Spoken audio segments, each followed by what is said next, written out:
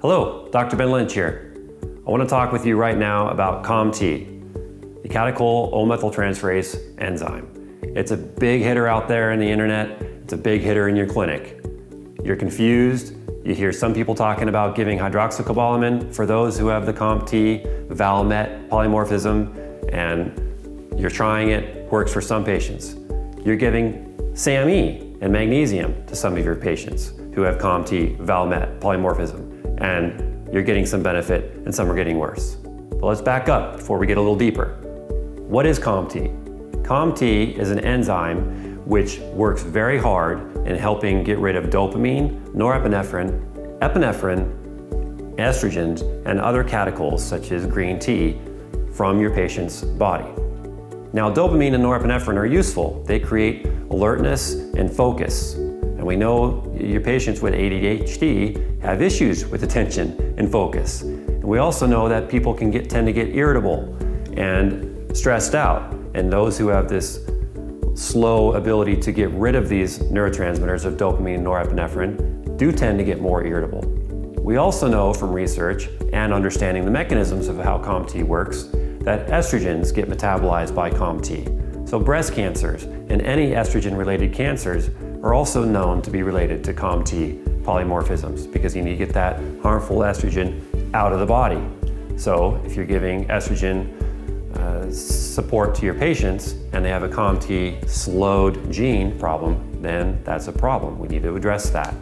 So there's a known polymorphism in this COMT enzyme which slows it down, and it slows it down significantly. Exactly how much, I don't know. I want to say about 40% but I'm shooting from the hip on this. I don't know specific details, but I know it's slowed. So if your patient has a COMT VAL-MET variant, V158 is the SNP ID, and they have a MET-MET variant, it slows the COMT down. What's that mean? That means your patient has higher dopamine, higher norepi, and higher estrogen levels than the patient possibly who does not have it. Now, this is not guaranteed. If they're not eating tyrosine or eating protein, maybe they're already low in these neurotransmitters. It's not guaranteed, but it's increased susceptibility. Understand that. You don't treat a patient's SNP. You understand how it works. Now, what supports COMT? Say your patient does have elevated dopamine and estrogens and norepi. What do you do for that? Well, I like to support the enzyme specifically, and we know that cofactors speed enzymes up. So you you, if you understand that SAMe and magnesium are the two cofactors that you need to make COMT work faster, then you can give SAMe and magnesium to support your patient's slow COMT, right? That would make sense. You get rid of the dopamine and norepinephrine by supporting the enzyme. But wait a minute, you heard somewhere that you can't give SAMe or methyl donors to a COMT person who has this slowed issue, right? If you give methyl donors to a person with COMT, they get worse. Some patients do, some patients don't. Aren't you getting sick of me saying that all the time? I don't want you to get sick of that. I want you to harness it. I want you to understand that there's a bell-shaped curve in your patients. Some patients do very well on hydroxocobalamin with COMT issues. Some patients do very well on SAMe and magnesium. Why? Their biochemistry is different. They're eating different things. They're exposed to different things. Their mindset is different. Some are in school, some are in a high stress job, some are chilling out on the beach. It all depends. If you give SAMe to a patient with a COMT variant and they get all irritable and angry, then that's a sign, a quick sign that their methylation system is blocked because that SAMe, instead of supporting methylation, has now increased the homocysteine of your patient and further inhibited your COMT enzyme.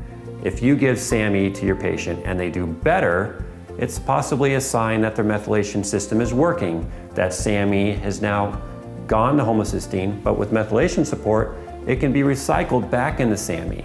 It's not inhibiting your COMT. So there's a diagram right here which shows you how COMT is supported with SAMe, and then also shows how the methylation system works. It's useful. This is complicated. It requires a lot longer discussion. I know you've got questions. and I want to answer your questions. But I do hope this has given you some insight to this very important enzyme for your patients today. Whoa, wait, wait, wait. Sorry, I forgot about this. ChiCon 2015, have you heard about it? You just enjoyed this video, I hope. You're excited about it. This information is very clinically relevant to you and your patients. ChiCon 2015 is an upcoming conference in October that you can't miss. There's 400 like-minded people like me, like yourself, that want to know more about how to optimize the health of your patients. You have four days of it. You have 400 doctors who are wanting to get more information on this and do what they need to do and transform medicine and transform the health of your patient and transform your practice.